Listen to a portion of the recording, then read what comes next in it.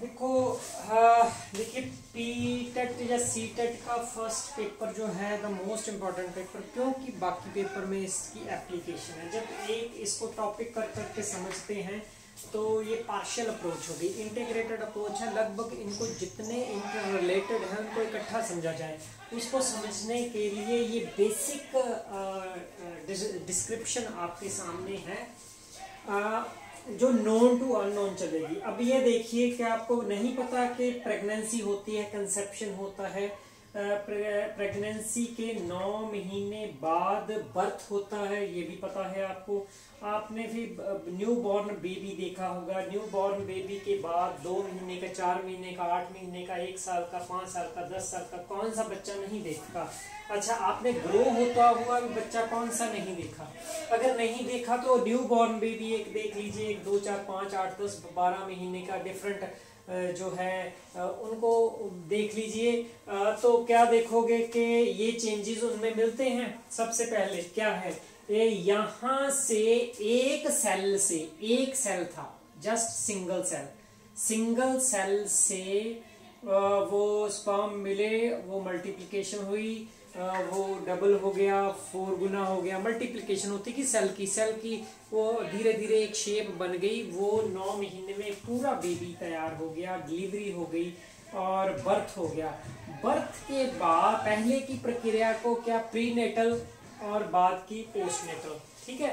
During delivery भी एक process है जो डेवलपमेंट को प्रभावित करता है। तो कंसेप्ट डेवलपमेंट को समझने के लिए सबसे पहले ये देखिए कि, कि यहाँ से यहाँ तक जहाँ कंसेप्ट एक सेल से यहाँ तक क्या हुआ? चेंज ठीक? अच्छा बच्चा यहाँ से यहाँ से यहाँ से यहाँ से यहाँ से चेंज हुआ। कौन से एरियाज़ में हुआ? एरियाज़ डोमेन्स डायमेंशंस ठीक है? वो डायमेंशन ये है फ़िज़िकल चेंज हुआ जी दिखाई दे रहा है जी साइज़ चेंज हो गया। देखो बच्चे का साइज़ साइज़ चेंज हो गया तो आप मैयर कर सकते हो। मैयर कर सकते हो तो वो क्वांटिटेटिव हो गया ना गिनात्मक हो गया। अच्छा साथ में उसकी मोटर मूवमेंट हो उसने भागना है उसने ए, कुछ छोटे छोटे काम करने हैं उसने खेलना है कूदना है जंप अच्छी तरह कर पाता है बॉल अच्छी तरह पकड़ पाता है कितनी स्पीड से ये मोटर मूवमेंट है होल बॉडी की मूवमेंट है जो उसको बोलते हैं ग्रॉस और जो सिर्फ़ जिनमें फिंगर ज़्यादा यूज़ होती हैं जो उसको फाइन मोटर तो ये ये चेंज आपने देखे नहीं है सारे देखे हैं। अच्छा बच्चा, क्या जब बच्चे का जन्म हुआ तो उसके पास थिंकिंग थी रीजनिंग थी प्रॉब्लम सॉल्व वो कर सकता था? पूरी? दिमाग लगा के? आंसर है नहीं।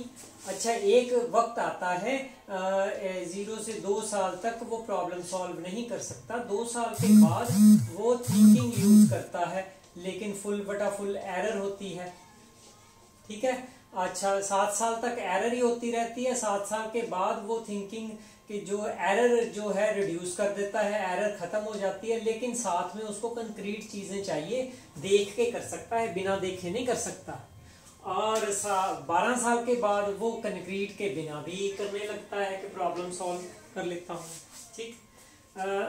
तो ये क्या हो गई? ये चेंजेस क्या आए कि कोई रीजनिंग नहीं थी। रीजनिंग आई, लेकिन एरर वाली थी। एरर वाली जो रीजनिंग थी वो धीरे धीरे कंक्रीट रूप से प्रॉब्लम को सॉल्व करने वाली एक्यूरेट बन गई और लास्ट स्टेज में एरर खत्म हो गई। कंक्रीट के बिना एब्स्ट्रैक्ट प्रॉब्लम भी सॉल्व करने लगे ठीक? तो ये प्याजे की थ्योरी बन गई, जो वर्ल्ड अप्रेज है, इतनी बात प्याजे ने कही है, इसकी एक्सप्लेनेशन जितनी मर्ज़ी लंबी कर लो आप। तो ये फ़िज़िकल डेवलपमेंट हो गई थिंकिंग के डेवलपमेंट हो गई। थिंकिंग के डेवलपमेंट में प्याजे और दूसरा आ जाते हैं गॉथ्स की ठीक है?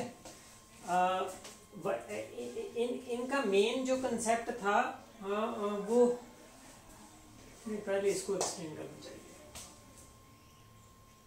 हम्म, पहले इसको चलो दोबारा से ऐसे करते हैं।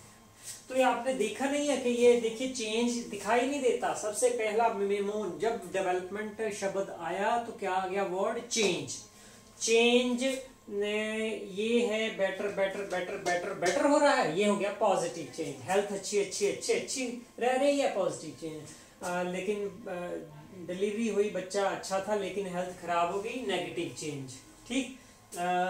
तो मोटर मूवमेंट पहले ठीक थी लेकिन बाद में डिसेबल हो गया नेगेटिव मोटर चेंज अच्छा मोटर मूवमेंट इंप्रूव हो रही इंप्रूव हो रही इंप्रूव हो रही है तो ये हो गया पॉजिटिव चेंज ठीक? तो ये चेंज कैसे आते हैं? आ, एक तो डाइट अंदर से एनवायरनमेंट आपका टोटल कौन सा है कि आप हम सोशल कर ले।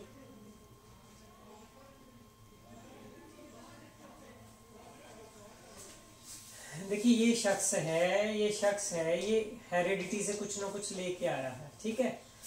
फ़िज़िकल भी कोग्नेटिव भी इमोशन भी, वगैरह वगैरह।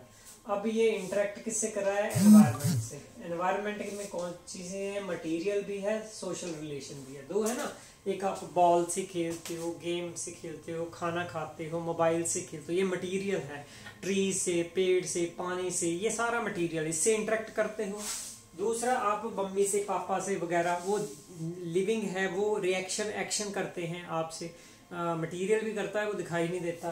तो ये दो तरह का एनवायरनमेंट हो गया social environment and material environment जब ये ल, अच्छा इस इंटरेक्शन से क्या होता है?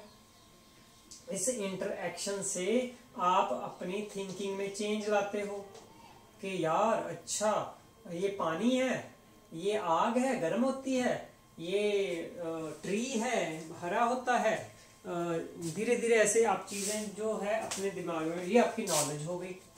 ठीक है?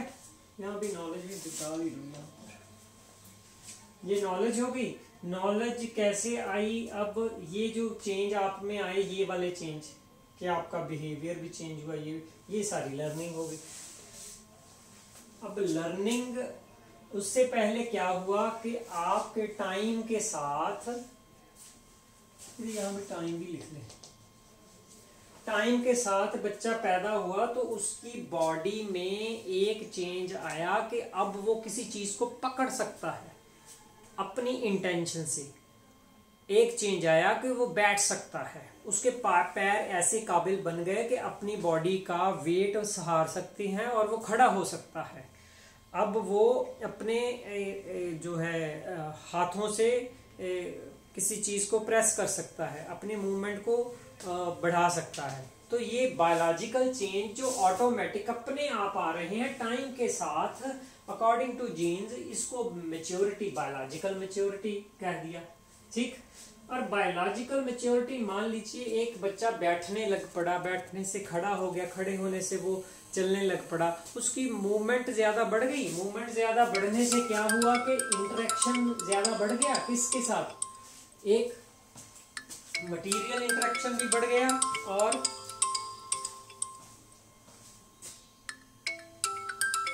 मटेरियल इंटरेक्शन भी बढ़ गया और सोशल इंटरेक्शन भी बढ़ गया। मटेरियल इंटरेक्शन कैसे बढ़ गया?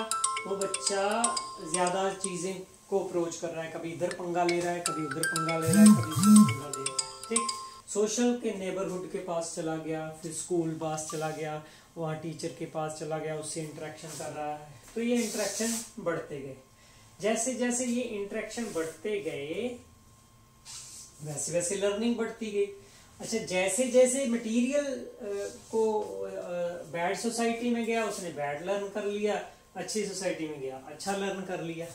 तो ये जो biological maturity plus learning plus जो पॉजिटिव चेंज है इसमें आए इस सारे को डेवलपमेंट कहते हैं, है ना? तो इस डेवलपमेंट की आगे एरिया कर लिए, कुछ ने कुछ ने फोकस किया फ़िज़िकल जो चेंज कैसे आते हैं, कुछ ने किया थिंकिंग रीजनिंग नॉलेज में चेंज कैसे आते हैं वो कोग्नेटिव डेवलपमेंट की थ्योरी ज्ञानात्मक विकास की थ्योरी बन गई। तो उस पर डिफरेंट लोगों ने रिसर्च की, जो सबसे वैलिड रिसर्च हमारी मानी जाती है प्याजे और वैगोस्की की। भी ये चेंज कैसे आते हैं, ये बताते हैं थ्योरी में। थ्योरी क्या है? सॉरी थ्योरी क्या है? थ्योरी कि ये चेंज कैसे आते हैं? अब ये चेंज कैसे आते हैं? इमोशन कैसे चेंज होते हैं? पॉजिटिव इमोशन को, को कैसे यूज़ करता है? एम्पथी कैसे डेवलप होती है? ये इमोशनल डेवलपमेंट की थ्योरी हो गई आपके सिलेबस में नहीं है ठीक? लेकिन मल्टीपल इंटेलिजेंस के जो इमोशनल इंटेलिजेंस उसमें कंसेप्ट है। अच्छा सोशल और रिलेशन को इम्प्रूव करने वाली एरिक्सन की थ्योरी जो जो हो गई है आपका सोशल डेवलपमेंट की थ्योरी हो गई। तो ये सारा आपके लगभग फ़र्स्ट स्टेप में है। जब ये इसकी पालना हो रही है आप देखिए बॉयज़ को डिफरेंट तरह से ट्रीट किया जाता है। भाई आपने रोना नहीं है भाई आपने ये नहीं करना बे, बे, बे, है ना? ये डिफरेंट जो किया जाता है बॉयज़ और गर्ल के साथ ये आपका जेंडर वाला हो जाना है सारा। बहुत सुस्ती पड़ी मक पल कर